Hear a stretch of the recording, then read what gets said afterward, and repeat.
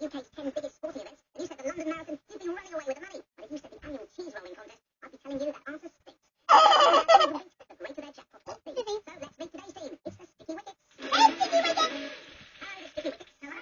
Now, as someone who once played a knee or cold wicket, that is a superb team. and all know each other. Uh, we're all, very long friends. We've all been members of a cricket club called Castle Bromwich for about the last 10, 15, some 20 years now.